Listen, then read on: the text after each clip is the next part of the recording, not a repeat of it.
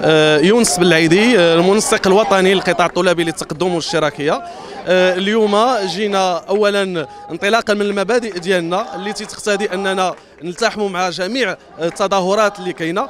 وكذلك في إطار التبني ديال هذا الملف هذا منذ 16 ديسمبر 2023 وكذلك تلبية لدعوات التنسيقية الوطنية لطلبات الطب والصيدله يعني جينا باش نقولوا أن هذه الحكومة وهذا الوزير يجب عليهم أنهم يفتحوا حوار جاد آه، وقوي مع هاد الطلبة وإيجاد حلول ناجعة يعني آه، ترضي كل الأطراف. آه، إحنا كنشوفوا اليوم كانت مبادرات يعني مع مجموعة من الفعاليات انطلاقا من جمعيات المجتمع المدني الأحزاب السياسية والنقابات وكذلك هذا القبة اللي إحنا اليوم أمامها بغرفتيها النواب والمستشارين وصولا إلى مؤسسة وسيط المملكة ولا وجود لحل ولا وجود لحل. هاد الطلبة اليوم جاو آه، باش آه، يقولوا أنهم باغين آه، تكوين طبي وصيدلي في المستوى يرتقي والمواطن المغربي. واليوم عندنا ورش كبيرة ديال التغطية الصحية. عندنا أيضا أوراش كبيرة عالمية غيحتضنها البلاد ديالنا.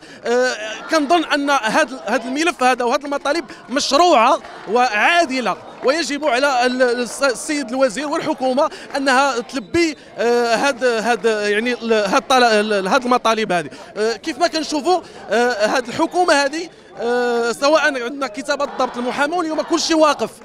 كيقولوا أش هذا الشيء؟ فين غادا هذه البلاد؟ فين غاديين بينا؟ فين غادا بينا هذه الحكومة؟ لذلك يجب يعني اصبح أنه يكون تعديل حكومي أمر ضروري. أمر ضروري وأنه يتفتح حوار مجتمعي آه، من شأنه أنه يكون هناك يقدر يخلق لنا واحد الانفراج سياسي آه، شي شوية يزعزع شوية المشهد السياسي وأنه ينفس هذه الطبقات اللي اليوم يعني كتغوت وكتقول لا لهذه السياسات هذه